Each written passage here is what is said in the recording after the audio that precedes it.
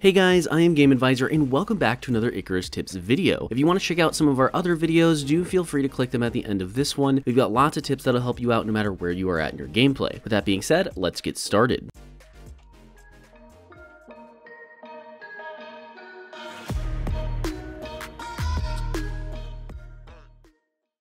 First up is that you can take out all exotics with you as long as they're equipped or in your hotbar. A lot of people actually don't realize this, but when you go into a game and bring in your exotics, you may notice that the drop pod can only hold 5 slots, whereas when you drop in, you can bring up to 10 items. Well, if you want to bring those items out with you, you can take up to 5 items out with you that are just equipped onto your character, such as modules or armor or your suit, and you can take out items on your hotbar. In total, you can have 5 items plus your on your hotbar or equipped to you that you want to take out with you. Everything else will have to be inserted into the drop pod, otherwise it won't fit within those 10 slots. So if you want, you can take out all 10 of the items you brought in every single time.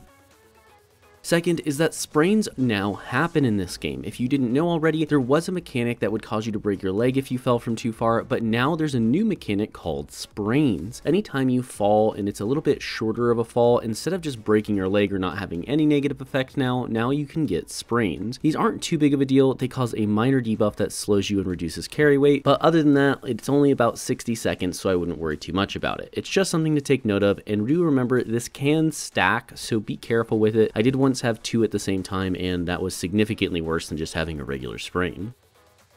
Coming in at number three today is that prospects now show why they are difficult. So if you didn't see this in the update, which I'm sure you have if you've played in the last few days, there's a new sort of mission variety. You have hardcore missions, you have little skulls next to them which indicate their difficulty. Well, if you actually click on the mission, it will explain to you why that mission is difficult and why it's set at that difficulty setting. You can see on the right side some percentages like some mob increase health or some other benefits you might get like XP gain or that maybe you can only revive once. I know that's a hardcore thing, but there's just a lot more information in general about why the mission might be challenging versus beforehand.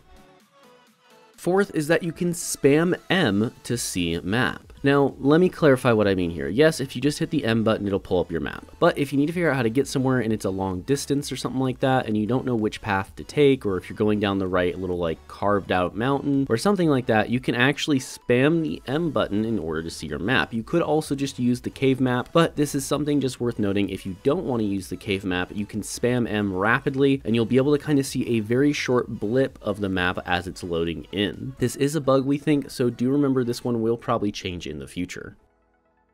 Alrighty, we are halfway there now with number 5, which is you always spawn near your original drop pod if you don't have a spawn point. So if you didn't know this already, when you hit the respawn button after you die, instead of spawning in a sleeping bag if you don't have one down, you'll spawn in a drop pod that drops back onto the planet. That drop pod will always seem to spawn within at least a kilometer of your original drop point. It doesn't seem to drop you right on top of it or anywhere consistently, but it will drop you in that sort of general vicinity or that same square on your map roughly. The reason this is important is because if you made a long distance run and you don't mind offing yourself to get back quickly, you can just let a wolf eat you in order to respawn back at your drop pod and then just complete a mission without having to do the walk back. Sixth on our list is that flame arrows can actually be used as pretty decent torches. Now, yes, you could do the whole turn down your shadows trick, but if you're anything like me, you don't like doing that because it feels kind of cheesy or cheeky. So what I like to do is actually use flame arrows as my source of light over making myself a torch. Yes, you can still make them if you want. There's nothing wrong with them. Torches are still a little bit better as far as their light production, but flame arrows in particular are extremely useful because they're also your weapon and you can have your weapon ready to go in case case you get into a fight. Seventh is that in order to beat storms, sometimes all you really need to do is just go into the next biome over. So if you happen to be, say, near the snow biome and you're in the forest biome, or in the desert biome and you're in the forest biome, or whatever combination you want to find, all you have to do is simply walk into that other biome. And if there's no storm going on over there, then you, boom, the storm won't be affecting you. And when the storm goes away, you can come back into the biome you're originally in. This is just a way mostly to get rid of the debuff that you get where that little bar goes up saying that you're being exposed to weather. But at the end of the day, it's just a nice little tidbit that might save you some damage or at the very least might get rid of that debuff for you.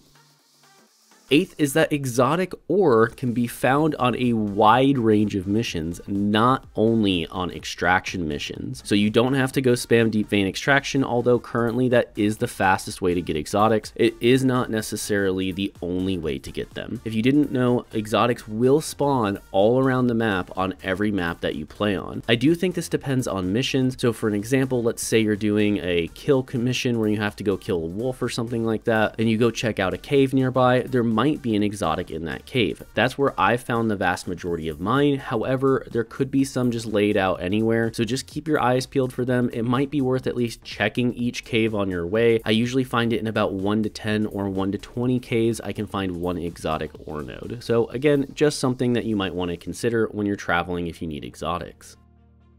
Ninth on the list is going to be that you can hide inside a carved out rock for shelter during a storm if you're in a pinch. So if you can't move over to another biome or that biome also has a storm going on and you're not near a base or a cave where you can get shelter, sometimes your best option is just going to be to go ahead and carve out a large boulder or rock, whatever you want to call it, and hide inside of it. If you do this right, you can actually get rid of the debuff that you would normally get from storms. I've had to use this a few times and it was extremely useful, so I highly recommend you you give it a shot.